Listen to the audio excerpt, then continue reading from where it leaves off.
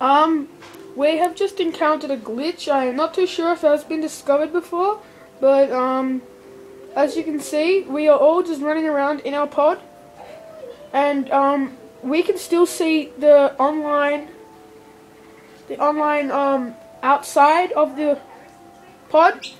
See, um, there is. If you look just over there, you can still see the stuff, even though we actually are running around in our pod. Pretty weird.